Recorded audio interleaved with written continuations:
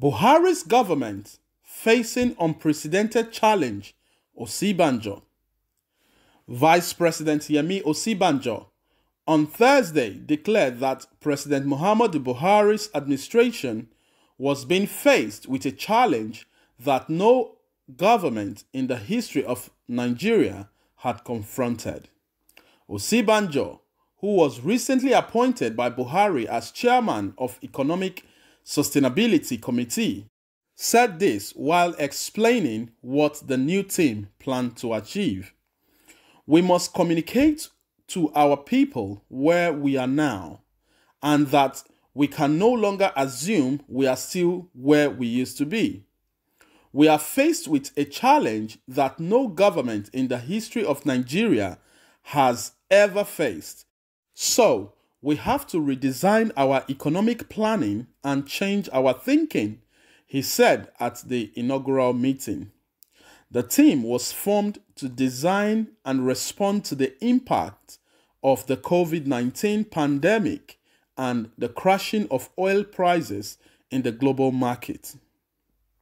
In the last several weeks, oil prices, a critical driver of the Nigerian economy, have crashed from the budget benchmark of $57 per barrel to less than $20 per barrel, amidst the other worsening implication of the pandemic with forecasts of impending recession on a global scale.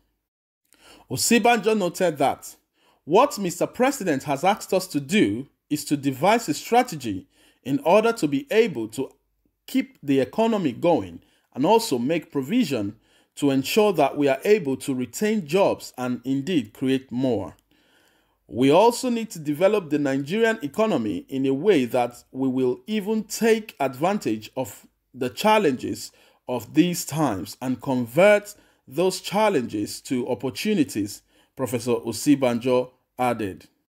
Speaking on the focus of the committee and what would be done to salvage the situation in the country. The vice president said, What we will need to do is something that is bold, radical, and one that our people can understand and buy into. We must design a broad vision that takes into account how to implement a big plan, inclusive of a focus on mass local productivity, and mass employment. The big plan of government is to find a way for us to be able to do mass housing, increase agricultural production, ensure massive local productivity by among several others other options, increasing support to SME, and majorly improve avenues to more, to put more cash in the hand of our people and also make them productive, the vice president noted. Committee members present at the meeting were the Minister of Finance, Budget and National Planning, Hajia Zainab Ahmed, Industry, Trade and Investment, Otumba Niyi Adebayo, Labor and Empowerment, Employment, Dr. Chris Ngige, Works and Housing, Mr. Babatunde Fashola, the Minister of Humanitarian Affairs, Disaster Management and Social Development, Hajia Sadia Farouk. Others are Ministers of State for Petroleum Resources, Mr. Timi Press Silva, the Group Managing Director of the Nigerian National Petroleum Corporation, Mr. Mele Kyari, the Governor of the Central Bank of Nigeria, Mr. Godwin Emefiele, and the permanent secretary cabinet office in the office of the secretary of the of the government of the federation mr babatunde lawal who is the secretary of the committee. So my people that's the news reaching us today.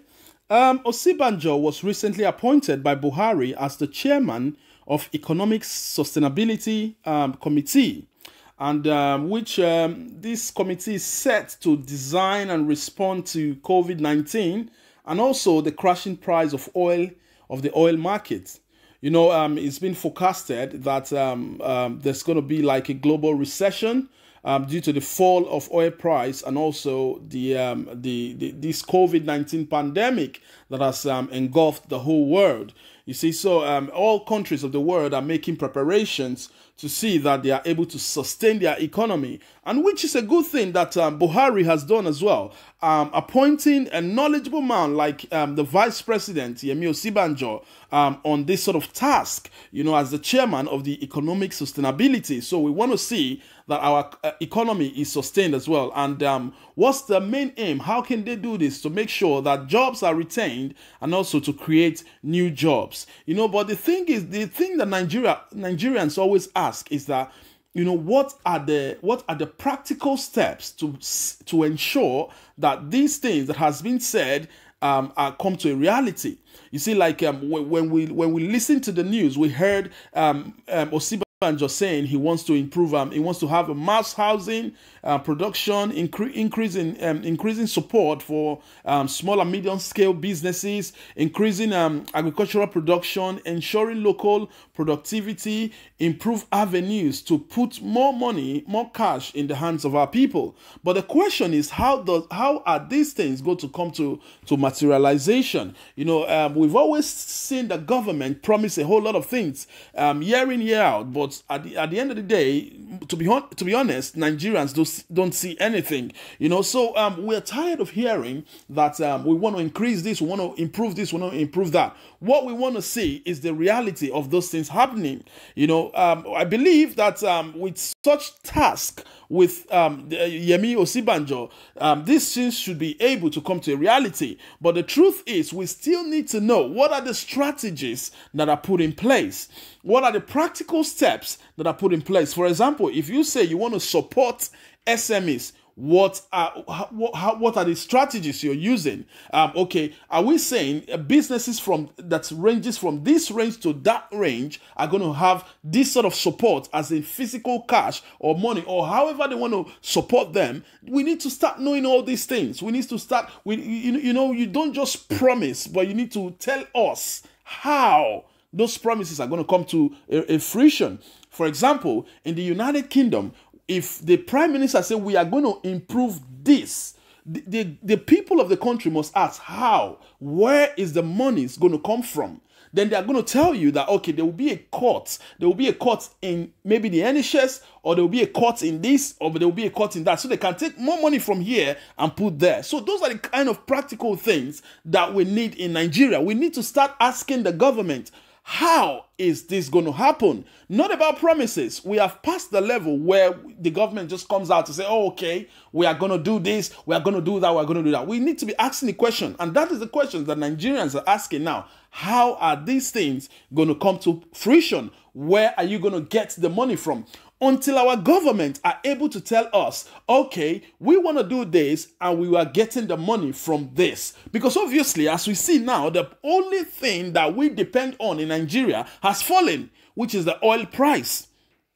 You see, every country of the world are looking for other things to make sure that they, that, that they sustain their economy. So here is the government promising us amidst the fall of oil price that these are the things that are going to be done. But how are we going to get those monies? Because every day we still hear the government borrowing and borrowing and borrowing so how that's the question. You see, so uh, Nigerians, let's just, um, I mean, it's just, we just need to keep speaking out. And that is why we have this medium to speak out, to let the people know what is going on in the country and what the government are proposing and what they should know and how they can speak out. So, yes, my people, if you haven't um, come across us before, if you're coming across us for the first time, this is Speak Network. Please do subscribe to us. Thank you for all those that have subscribed. If you haven't subscribed, please do press the subscription button and also press the little bell that's just by the side there. So whenever we um we we upload a new news, you can get it firsthand. All we are trying to do is to make sure that all citizens of Nigeria, everyone, uh, every citizen of Nigeria, no matter where you are around the globe, you would be abreast of what is going on in Nigeria at the minute, at the seconds. All right, my people, thank you very much for listening. And um, stay safe and um, let's follow the government guidelines. Let's um, there's a total lockdown around um, um, FCT, um, Lagos, Ogun State. Let's just go with the government um, directives at this point in time and just remain safe. Thank you very much. Until I come your way again. Bye.